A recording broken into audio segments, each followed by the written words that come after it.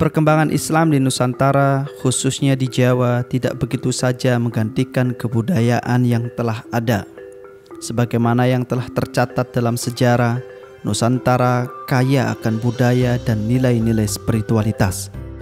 Oleh karena itu, bagi masyarakat Nusantara, budaya dan agama tidak bisa dipertentangkan salah satu tokoh Islam yang secara masif mendakwakan ajaran Islam dengan nuansa akulturasi budaya dan nilai-nilai spiritualitas dalam Islam ialah Raden Umar Said atau yang lebih dikenal dengan nama Sunan Muria. Salah satu ajaran yang dinisbatkan kepada Sunan Muria adalah ajaran suluk pambukaning tata malige betal mukarong. Acara ini tercatat dalam karya Ronggo Wasito yang berjudul Serat Wirid Hidayat Jati. Suluk tersebut berisi empat ajaran utama yaitu ora kena dahar iwak ati, tidak boleh makan hati, ora kena dahar iwak jeroan, tidak boleh makan jeroan, ora kena ngarani angan-angan, tidak boleh menyebut angan-angan, dan ora kena ngarani jinem, tidak boleh menyebut jinem atau harapan semu.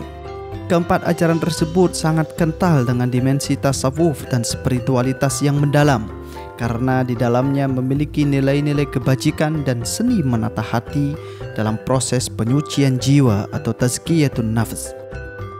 Masih banyak lagi suluk atau jalan ke arah kesempurnaan batin yang ditawarkan oleh Sunan Muria. Siapa itu Sunan Muria? Apa ajaran-ajaran sentralnya? apakah ajaran-ajaran yang ditawarkan oleh Sunan Muria masih relevan di era modern saat ini? Untuk mengetahui lebih dalam permasalahan ini, mari kita ikuti bersama diskusi tentang Ngaji Suluk Sunan Muria bersama Dr. Ahmad Tajuddin Arafat, dosen UIN Wali Songo, Semarang.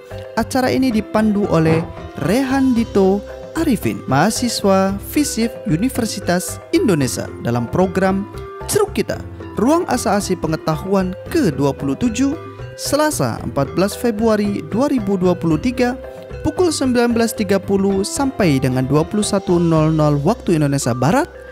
Mari bergabung dan raih hidup penuh kebahagiaan.